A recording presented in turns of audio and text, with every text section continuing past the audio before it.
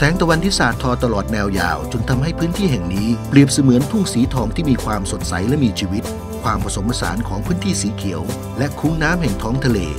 ทำให้บรรยากาศของที่นี่เต็มไปด้วยธรรมชาติที่ร่มรื่น บางกระเจ้าเป็นพื้นที่สีเขียวขนาด 11,819 ไร่ ครอบคลุมพื้นที่ 6 ตำบล ของอำเภอพระประแดงจังหวัดสมุทรปราการ ที่นี่เป็นพื้นที่ชุ่มน้ำขนาดใหญ่ โอบล้อมด้วยแม่น้ำเจ้าพระยา อยู่ห่างจากอ่าวไทยไม่มาก ถือเป็นแหล่งโอโซนใกล้ปากอ่าวไทย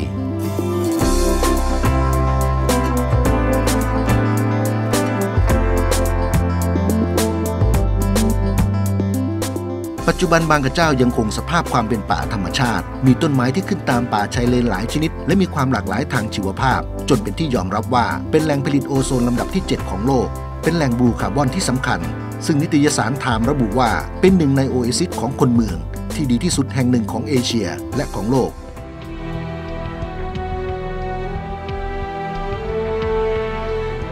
ย้อนไปเมื่อปี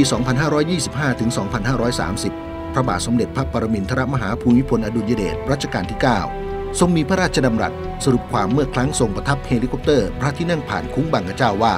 สมควรสงวนพื้นที่แห่งนี้ ไว้สำหรับเป็นพื้นที่สีเขียวของกรุงเทพมหานคร และปริมณฑลเนื่องจากลมมรสุมของอ่าวไทย จะพัดพาเอาอากาศบริสุทธิ์ มาไล่อากาศเสียในกรุงเทพเป็นเวลากว่าปีละ 9 เดือน จากพระราชดำรัสดังกล่าว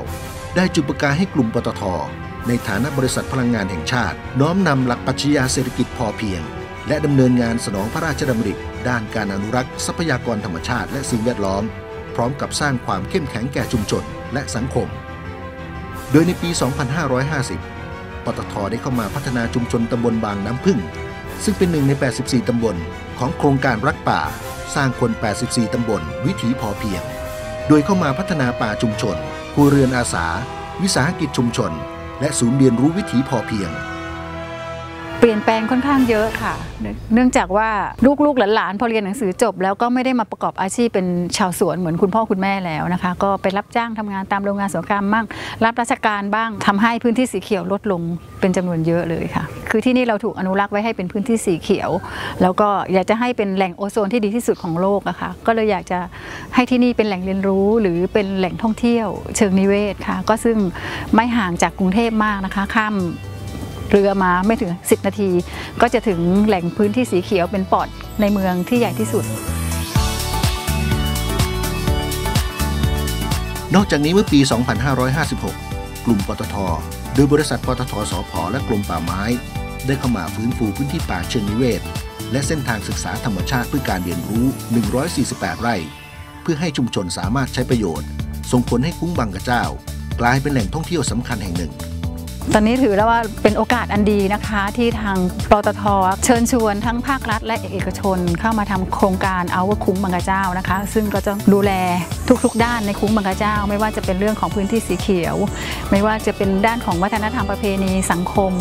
การศึกษาและก็สุขภาพของคนในชุมชนด้วยค่ะ ก็อยากจะเชิญชวนนะคะ ทุกท่านให้มาเที่ยวคุ้งบางกระเจ้า อยากจะให้ทุกท่านแค่ได้เข้ามาเยี่ยมมาชมวิถีชีวิตชุมชนนะคะ โดย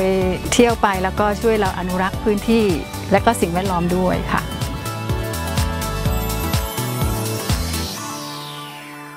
ปัจจุบันปตทร่วมมือกับกรมป่าไม้ มหาวิทยาลัยเกษตรศาสตร์ และชุมชนโดยรอบ ภายใต้แนวยุทธศาสตร์การพัฒนาของมูลนิธิชัยพัฒนาดำเนินการเพื่อการพัฒนาพื้นที่สีเขียว ภายในส่วนของสวนเฉลิมพระเกียรติ 80 พรรษา ให้มีความสมบูรณ์ยิ่งขึ้น